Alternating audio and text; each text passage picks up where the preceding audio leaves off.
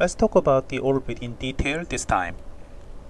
Orbit is a term meaning the gravitationally curved trajectory of an object such as one of planet in physics. But in anatomy, the orbit is the cavity or socket of the skull in which the eye and its appendages are situated. Orbit can refer to the bony sockets, in other words, the bony orbit, or it can also be used to imply its contents. In adult human, the volume of the orbit is 30 milliliters, of which the eye only occupies the 6.5 milliliters, one fifth of the total volume. The orbit is a pyramidal shaped space which has a four walls, base, and apex. Let's think about our cadaver situated like this having head situated like this. There are two orbits in this cadaveric head probably like this. This is a pyramidal shape.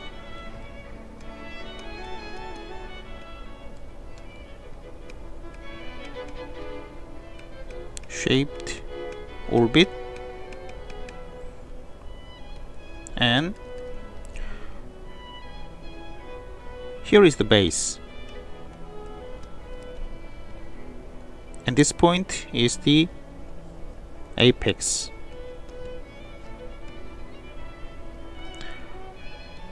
This is a medial wall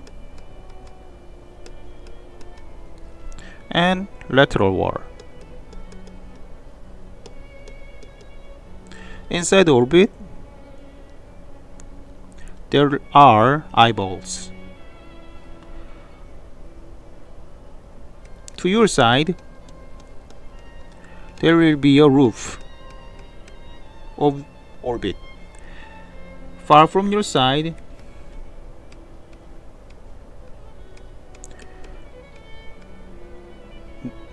there is an floor. Roof is a superior wall and the floor is an inferior wall.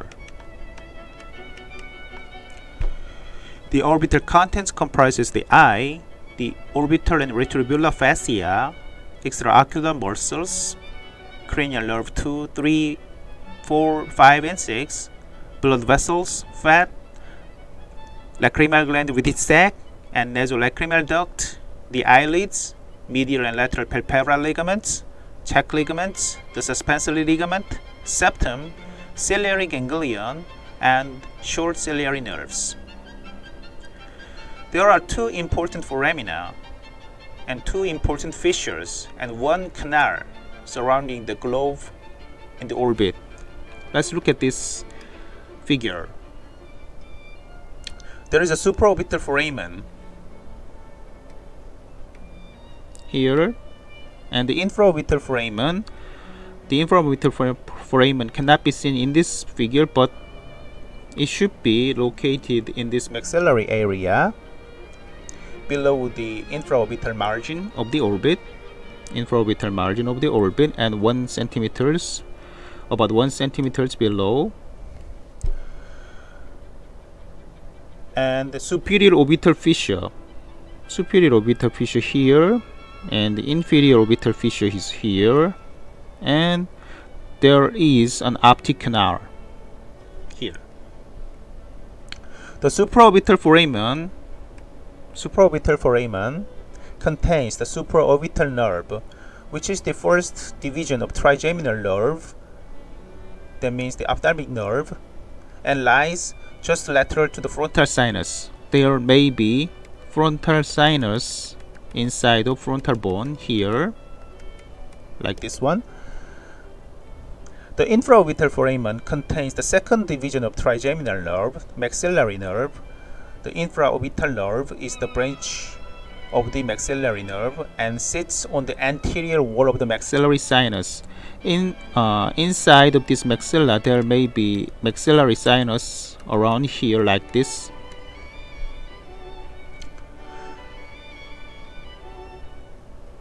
Both foramina are crucial as potential pathway for cancer and infections of the orbit to spread into brain or other deep fascia structures.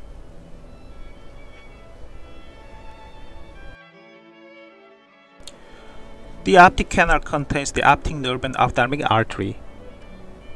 Here and ophthalmic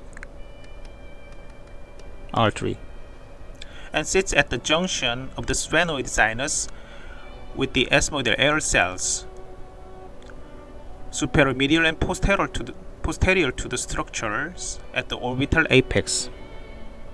This is the orbital apex as I explained earlier and uh, to your side uh, there is a ethmoid bone and the ethmoidal air cells around here and far from your side there may be a sphenoidal sinus behind. It provides a pathway between the orbital contents and the middle cranial fossa. The superior orbital fissure here contains very important structures lie just lateral and inferior to the optic canal lateral lateral and inferior to the optic canal is formed at the junction of the lesser wing and greater wing of the sphenoid bone. In this figure, the uh, yellow-green color means the sphenoid bone and the uh, this triangle means the lesser wing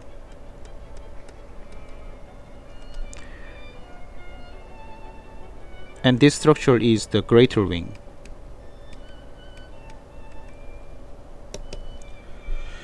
It is a major pathway for intracranial communication containing the cranial nerve 3, 3 oculomotor nerve, 4 trochlear nerve, and 6 abducens nerve which control the eye movement via the extraocular muscles and the ophthalmic branch of cranial nerve. Cranial nerve uh, 5, it means that the uh, trigeminal nerve. And it houses the ophthalmic vein too. The inferior orbital fissure here lies inferior and lateral to the ocular groove at the lateral wall of the maxillary sinus. It is not as much important in function, though it does contain a few branches of the maxillary nerve and the infraorbital artery and vein. Other minor structures in this orbit include the anterior and posterior ethmoidal foramen. There can be found here and here, and it will be discussed in detail later. And the zygomatic orbital foramen, probably located in this area.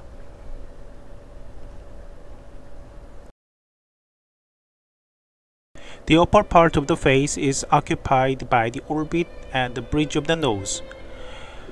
Each orbital opening is roughly quadrangular in shape. Like this way. The upper supraorbital margin is formed entirely by the frontal bone. Upper margin is a frontal bone. Interrupted at the junction of the sharp lateral two-thirds and rounded medial third by the supraorbital notch or foramen, which transmits the supraorbital vessels and nerve. As I explained earlier, there will be a, a supraorbital foramen. The infraorbital margin is formed by the zygomatic bone laterally and maxilla medially. Laterally, zygomatic bone in the sky blue color and the yellow the maxilla, maxilla medially. Both lateral and infraorbital margin sharp and palpable by your finger. The medial margin of the orbit is formed above by the frontal bone, probably here, probably here, and below by the lacrimal crest of the frontal processus maxilla here. The bony orbit are skeletal cavities located on either side of the root of the nose, root of the nose here, that serves as a socket for eye and its associated tissues.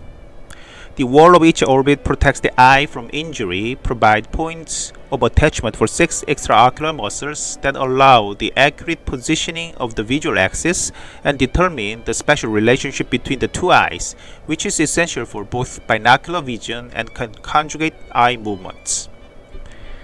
By convention, and as I said earlier, each cavity is considered to approximate to a quadrilateral pyramid with its base at the orbital opening narrowing to its apex along the posteromedially directed axis. I will draw the pyramidal shape like this. Posteromedially. Each orbit has a roof, floor, and medial and lateral wall. The medial wall lies approximately 25 millimeter apart in adults and are nearly parallel. Uh, I'm sorry, it's a complicating, but this is a 25 millimeters in adults on average. The angle between the medial and lateral wall is about 45 degree. This angle 45 degree. The compromise between protection and ensuring a good field of view dictates that each eyeball is located anteriorly within the orbit.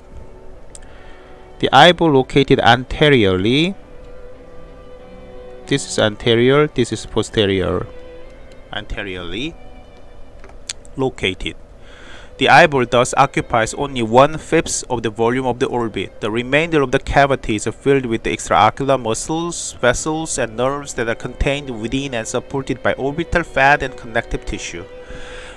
In summary, the orbit transmits optic, oculomotor, trochlear, and abducens nerve and branches of the ophthalmic and maxillary division of the trigeminal nerve and the ciliary parasympathetic ganglion and the ophthalmic vessels.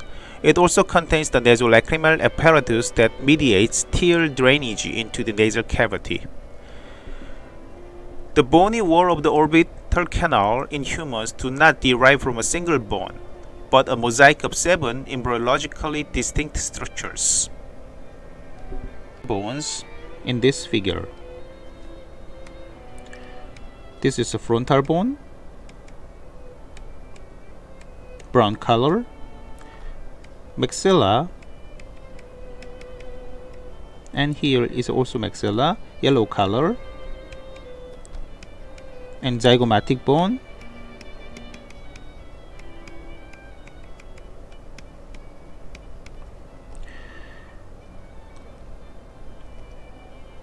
This is a lacrimal bone.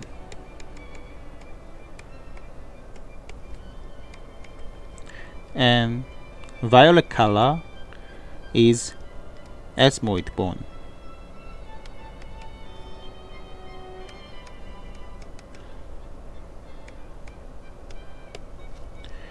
And yellow-green color is a sphenoid bone.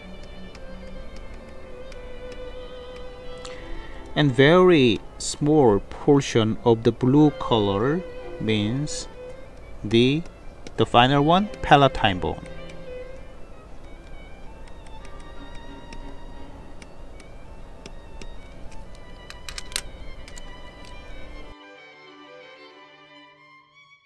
Onto the roof of the orbit.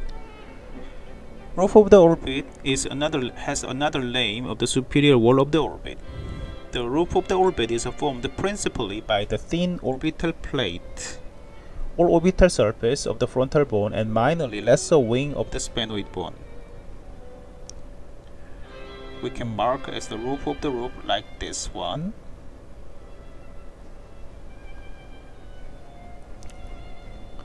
It is generally concave on its orbital aspect, which separates the orbital contents and the brain in the anterior cranial fossa. There will be an anterior cranial fossa inside of the frontal bone in this figure, and there are supraorbital notch or foramen on the medial third of the supraorbital margin. This one where sometimes it's considered outside of the orbit. The foramen transmits the supraorbital nerve and vessels, as I said. Anteromedially, it contains the frontal sinus and displays a small trochlear fovea, sometimes surrounded by a small spine, where the cartilaginous trochlea for superior oblique muscles is attached. Around here, there will be a there will there will be a trochlear fovea. Anterolaterally, there is a shallow fossa that houses the orbital part of the lacrimal gland. Around here, there will be a lacrimal gland. The roof slopes down significantly toward the apex, joining the lesser wing of the sphenoid bone, which completes the roof. The optic canal lies between the roots of the lesser wing and is bounded by medially by the body of sphenoid. There may be body of sphenoid located located behind the ethmoid bone, the violet color.